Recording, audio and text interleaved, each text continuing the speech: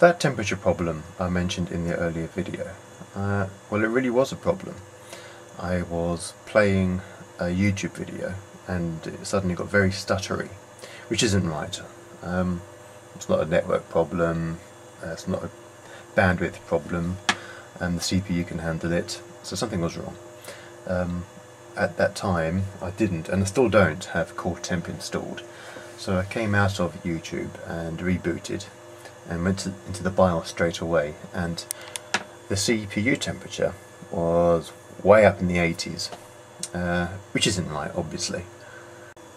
No matter what I did, I couldn't get the fan here to come on. Um, it comes through uh, fan point 3 on the motherboard, I can't show you that. Um, and no matter what I did in the BIOS, um, how I changed the settings, I couldn't get that fan to come on. I even tried with other fans and um, it just wasn't having it. So I took it out of fan point 3, put it into fan point 2 and, um, to do that I had to extend it just as a temporary thing with some cabling. I put it into fan point 2 which is there and I suddenly gained control of the fan. For example, uh, smart fan, fan point 2, put it on full power. If you listen, there you go. So fan 2, full power.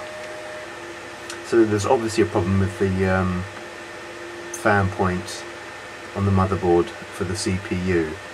The other two fan points work perfectly well. There's two, one for the um, chipset fan and a spare one, which is what I'm using now. Um,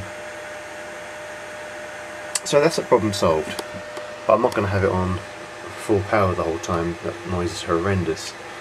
So I leave it on fan point 2, go to here,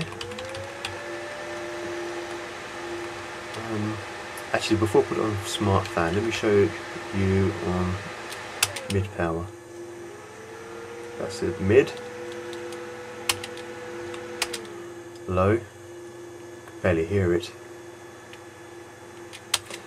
Um, but I'm going to have it on smart and have it kick in on the lowest temperature possible which is 48 degrees. So when uh, CPU, where is it? CPU temperature hits 48 and it's 37 or 40 now, um, it'll kick in.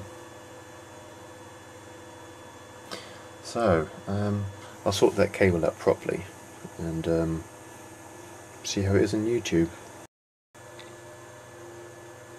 Mm -hmm. So much better. Smooth, with the capital smooth. And you can see the fan, oh, you can't, it's on, but obviously at a low setting.